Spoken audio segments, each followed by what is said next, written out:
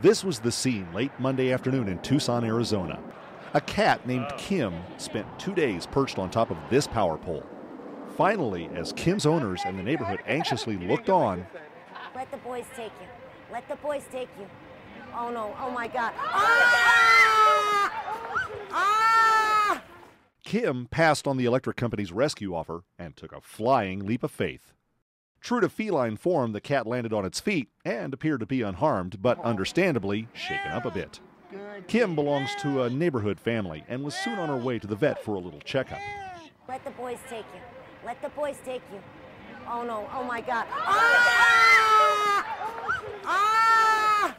And so for Kim, the high flying Tucson cat, it's one down and eight more lives to go.